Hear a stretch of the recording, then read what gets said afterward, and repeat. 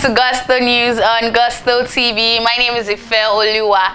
And today on the news, I have Machala of Lagos. Yes, Wizkid, I, as well alongside, yes, Seun Kuti, yeah, a video making rounds online. I also have Tiwa Savage and Seyi Shay. It's been a bass, boost, boost, bass lately. Yes, but of course, before I go on, I'll say thank you to you guys for all you do for us, for likes, for comments, for telling people about Gusto. And of course, if you're new to this channel, please click on the subscribe button and also on the notification bell.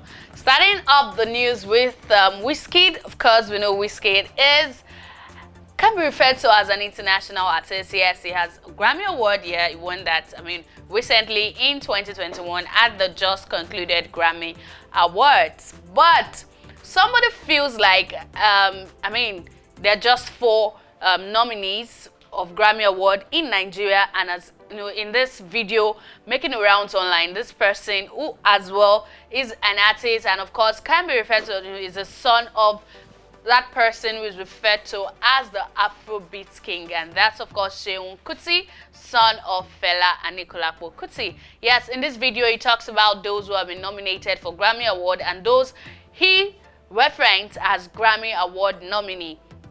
According to him, you know, he said we have just four of them in Nigeria.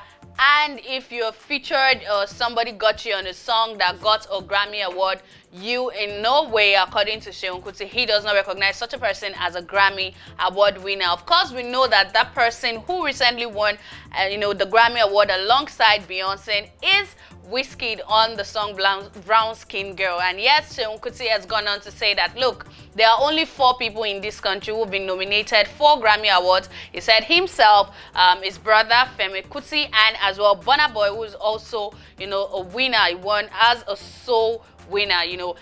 And for this, a lot of conversation is coming up online. Some people are like, oh, why is he talking like that? And some people are like, he could be right. Well, trust me, FC would always be there to defend Wizkid. That, look, what, no matter what Seun Kuti thinks, to some people, Wizkid is a Grammy Award winner. Of course, if you visit their website, you'd see that, you know, he's listed among those who um, have won the Grammy Awards. Yes, and this person said, someone said, even Fela was proud in heaven the day Wizkid won Grammy. You that is Fela's son, what have you done to make your father proud? Whoosh you know, FC, they would always be there to respond. Yes, and someone else actually put up another tweet, and this person says, Wizkid is what Seun Kuti wants to be. It must be sad to see someone else carrying his dad legacy in a bigger wave.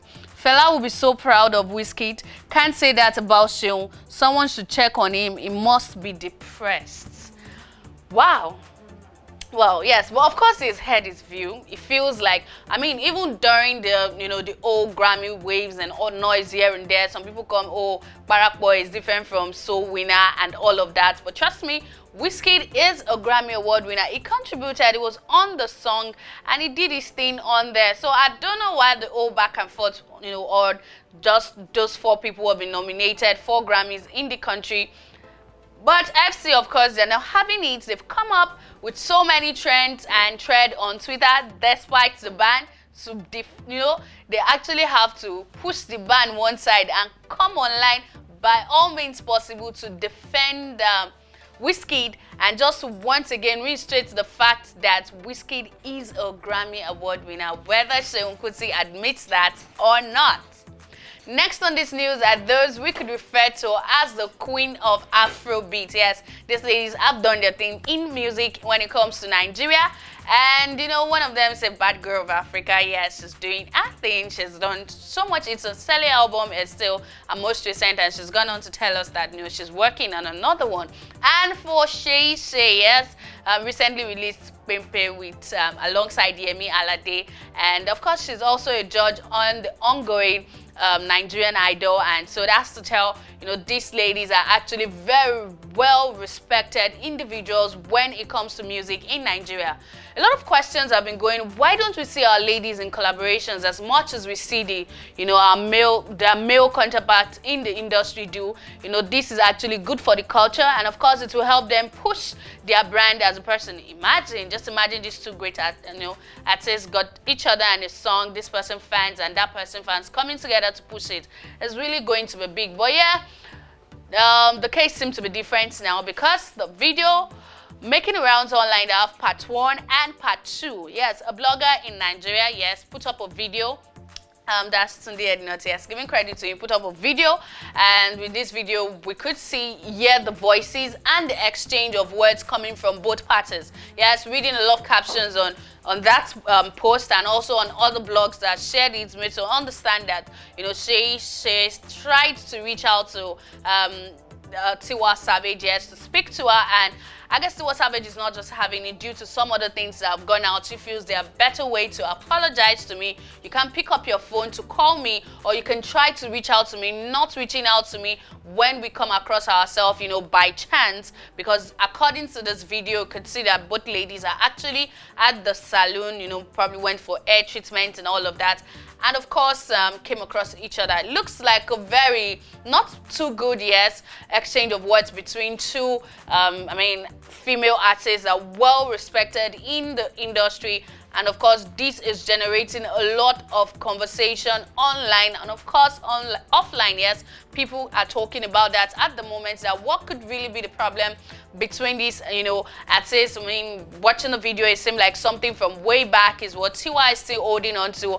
And uh, maybe you know uh, Shay saw an opportunity to reach out but Tiwa is not just having it.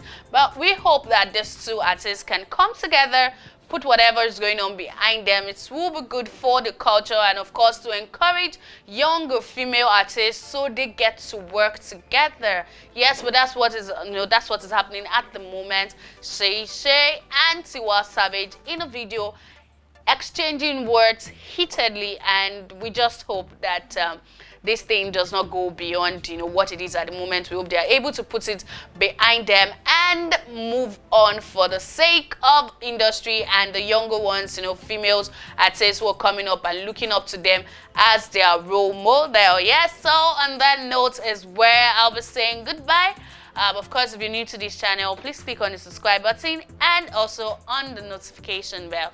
See you next time. Bye.